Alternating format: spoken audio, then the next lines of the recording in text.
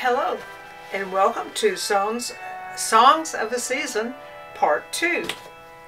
As you can tell from the music in the background, our study this week is O Come, O Come Emmanuel. If you were here either in person or virtually last Sunday, you would have been able to participate with that song in two different ways. Andy played it as part of as the prelude, and then we were able to sing it a more modern version of it with the praise team. So it was should be already ingrained in your brain is what this one is about. I don't think we can have Advent without O Come, O Come Emmanuel. As Tommy told us last week, it was a long time before church music had rhyming verses. And what we know about this one, we have rhyming verses now, but it did not start that way. Um, Pre Reformation, church music was done primarily by the monks and the, and the nuns in the Catholic Church, and they were chant or chant type music. It was always in Latin or occasionally Greek, but never in the vernacular, never in the language of the people. Uh, o Come, O Come Emmanuel, we think uh, dates back to about the 8th century, which would have made it probably one of the late later chants. Um, it is one of eight antiphons. They're called, excuse me, seven antiphons that are called the O antiphons because each one starts with the word O. An antiphon is really a fancy word for a call to worship or an introit. In the Catholic Church and in the Anglican Church, during the week before Christmas, there are seven O antiphons sung, and then on Christmas Eve, Mary's Magnificat is the one that is sung because the antiphons lead up to the birth of the Christ child. They're all based on Isaiah prophecies, except this one, because this one also, by using the word Emmanuel, uh, nods to Matthew, because Matthew had actually quoted Isaiah, so that's why they come together. Um, it would have sounded somewhat like what we we know, but it would have been awfully uh, very different too. Let's take a listen to what it might have sounded like in the 8th century.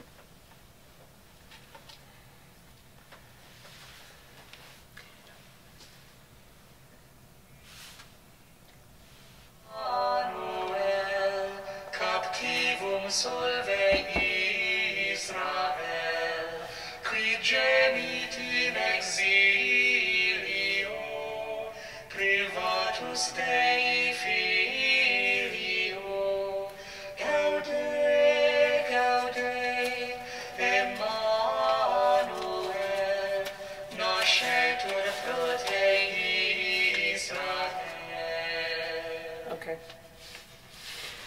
So, of the seven antiphons, as I said, they were the O antiphons because each one began with O. The second word in each one formed an acrostic if you start from the first day through the seventh. And it's actually an upside down acrostic. It starts from the bottom and goes up. And if you put those letters together, the Latin phrase ero cras comes, uh, happens. And that means tomorrow I will come. So the antiphons really have double meaning. And I find that one of the little hidden gems in early church. Uh, not just music, but also in uh, much of the teachings, you will find these little hidden twists that I just think are so clever. Now, let's take this down to the mid 1800s. Around, around 1850 or so, there was a gentleman by the name of John Mason Neale. Mr. Neale had studied for the priesthood, but because he had a, a bad heart condition, he was unable to work in a church.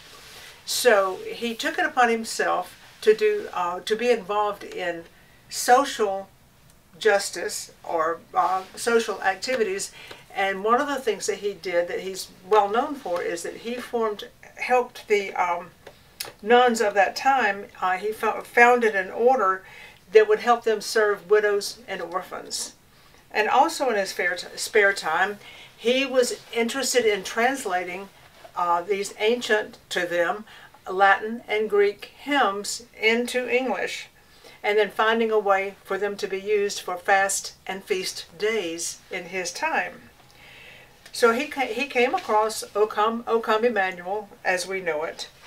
Uh, he, got, he translated it. He discovered a French melody that would work with it. He put the two together and then had it published.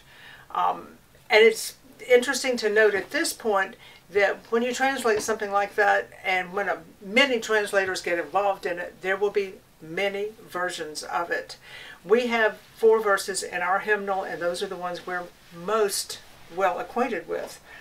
Um, and it's also it was also interesting to me that the French tune he was able to pair it with uh, was traced to a 15th century funeral processional for French Franciscan nuns.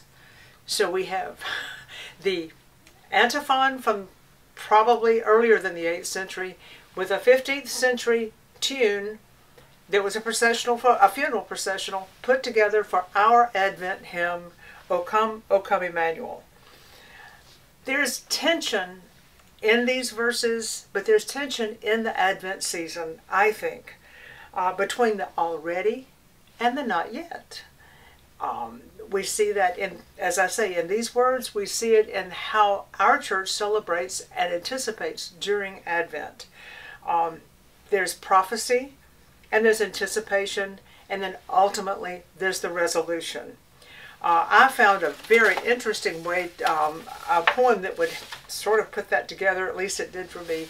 It's a 50s beat poem, and the last verse says this Christ climbed down from his bare tree this year and softly stole away into some anonymous Mary's womb again where in the darkest night of everybody's anonymous soul, he awaits again an unimaginable and impossibly immaculate reconception, the very craziest of second comings.